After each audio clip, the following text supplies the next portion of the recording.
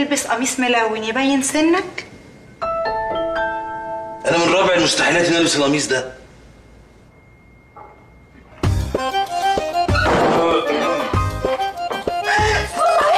بسم الله الرحمن الرحيم. سلامتك يا حاج؟ ليه سلامتك يا حاج؟ أنت شايفاني بكح ولا بعطس لا يا أخويا لا آه، ما أقصدش يعني. سلامتك من الكح والعطيس. بس يعني يا أخويا مش بعادة يعني يا أخويا كده. تلبس الحاجات دي يعني اسم الله عليك. في إيه؟ ما مش بعادي انما أهلي جايين آه يجوز برضو.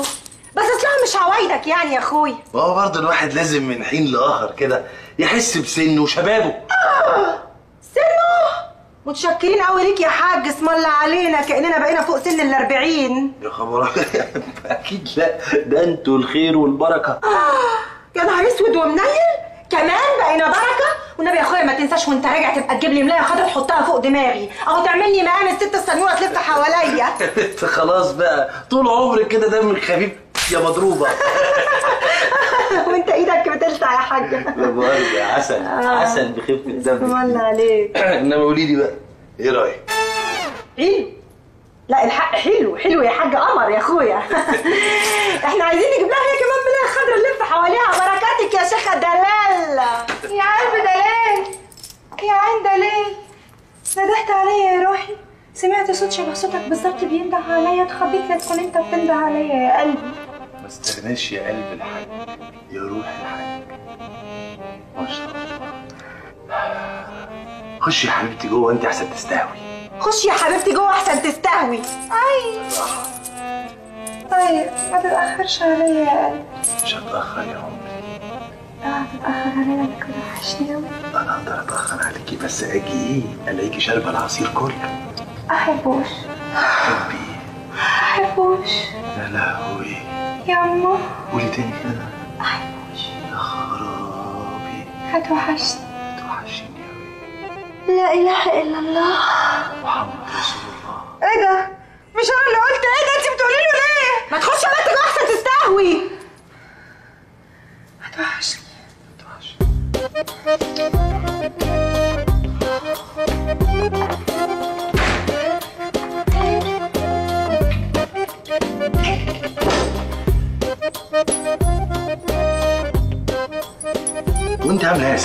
أحسن الحمد لله. أحبوش. يا حاج لا إله إلا الله. مفيش حاجة. من الدايره دي. عسل عسل. السلام عليكم.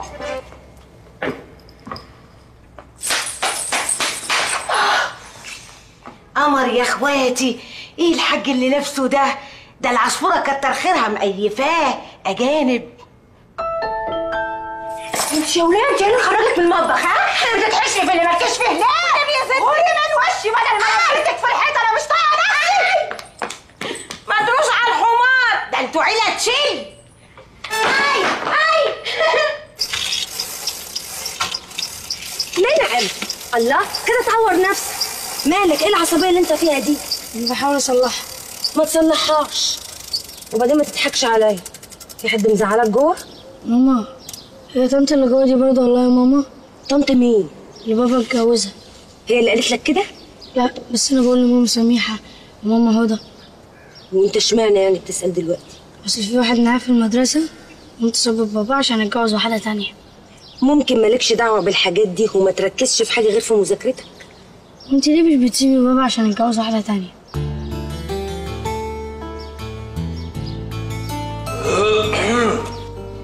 صباح الخير. يا صباح الفل عليك يا أخوي. صباح الخير يا منعم. إيه ده؟ ولا رد الصباح. منعم! ماله الواد ده؟ يا اخويا راح يعمل الواجب سيبك منه. ما شاء الله إيه الحلاوة دي كلها؟ إيه يا حاج كان فين مستخبي يا أخويا ده كله. جنس. جنس آه.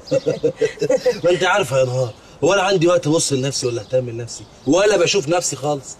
ده ليل باك منها عروسة جديدة جابت لي الحاجات دي؟ قلت أجربها بس أنا مش مرتاح. ليه يا أخويا؟ ده أنت قمر. أو النعمه قمر. بس تعرف هي طلعت بنت شاطرة.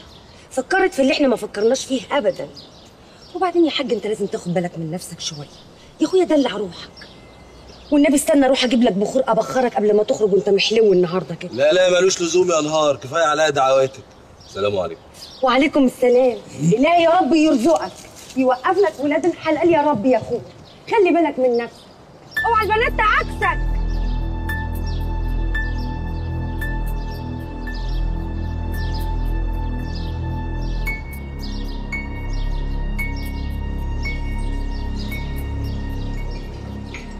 بنت اللذينة. ماشي أنهار. لازم دايما تتسهوك له وتطلع هي أم قلب كبير. خش يلا بتخبط يا سميحة مالك يا أختي زينب بتقول إنك على أخرك آه يا بنت اللذينة هي الولاية الناقصة دي ما بتبطلش نبر ونقل كلام وديني وما أعبد ورحمة أمي لكل مولعة فيها كده وسخ طب اهدي اهدي بس كده وفهميني مالك مالي إيه؟ مالي إيه؟ مالك أنت؟ فيكي إيه أنت شايفاني مالي مالي؟ شايفاني بقطع في هدومي؟ بشد في شعري؟ إيه بقى وسرعة المجنونة؟